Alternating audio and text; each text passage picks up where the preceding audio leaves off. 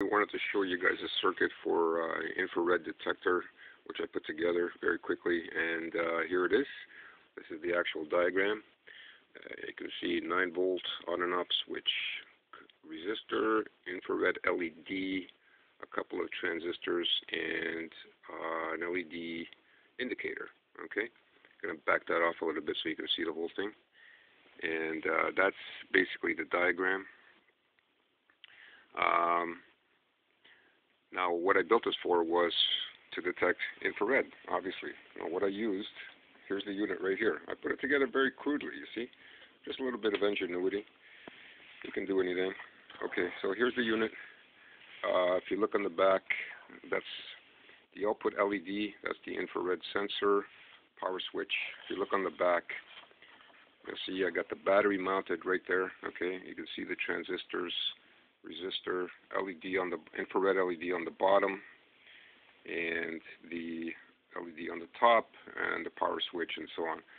It's a very, very simple circuit, and this will detect infrared from remote controls, uh, infrared LEDs that you may have in your stock. You're not sure if they're uh, good or not.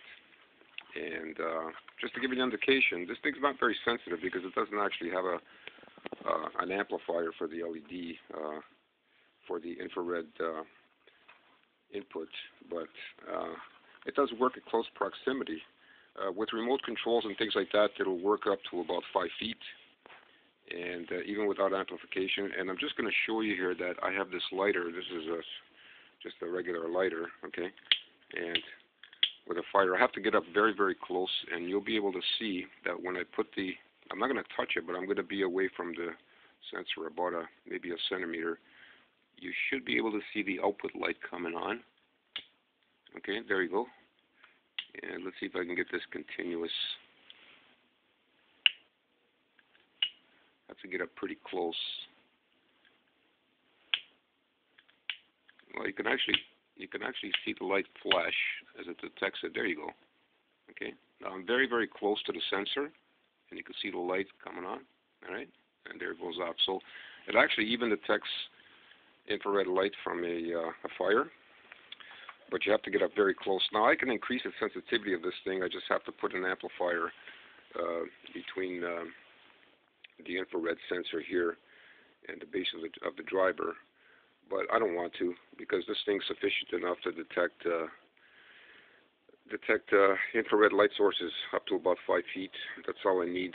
You know, I'm not. Uh, I don't really want to detect fires. I mean, fires you can easily detect with uh, your eyesight anyways, I just thought I'd uh, post this. Uh, anybody uh, experimenting with electronics and want to put something together real quick. Okay, you don't need any elaborate stuff. All right, now here, I just designed this. You know what this is made out of? Cardboard. Look, just cardboard. All right. You see, I just cut cardboard, bent it, shaped it. You know, great for the kids to to uh, gain some uh, hands-on uh, construction experience and uh, a little bit of electronics, a little bit of wiring.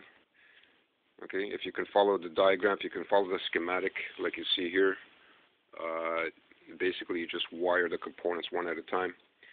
And uh, very straightforward. You don't need any terminal strips. You don't need any printed circuit boards. Just wire them all together. And uh, that's basically it. There you go. Simple little infrared detector. Okay, thanks guys. See you next time.